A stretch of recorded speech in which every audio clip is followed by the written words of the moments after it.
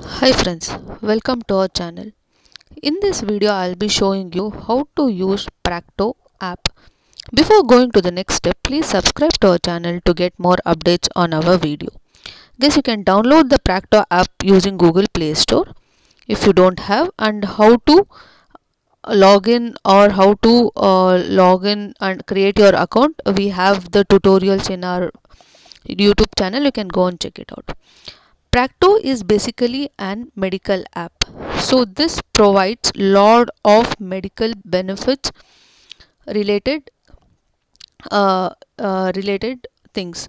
So that is you can book an doctor, you can inst- instantly connect to an consultant if you are facing something in over midnight and you don't have an access to go to hospital and you knew you need an consultant immediate uh, they'll give an immediate assistant. You can consult surgeries you can order medicines lab test you can order and even you can buy insurance using practo.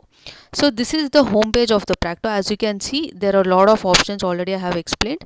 And if you want to consult uh, any doctor immediately you can whatever symptoms you're facing you can just check or click according to that and they will suggest you. So now i'll click on headache for instance as you can see there are consultant here and who knows uh, if you have any preferred languages as such you can choose it accordingly. You have doctors online now.